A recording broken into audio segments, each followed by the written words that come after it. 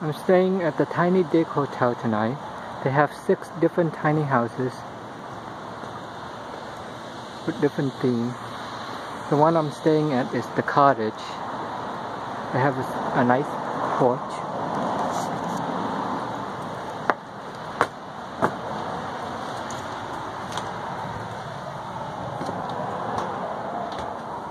When you enter, it's the living room.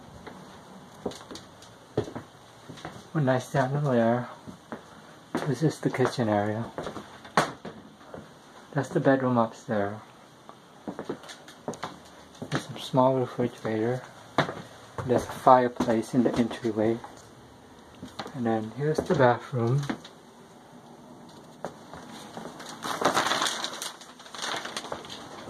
And then when you go upstairs, it's the bedroom.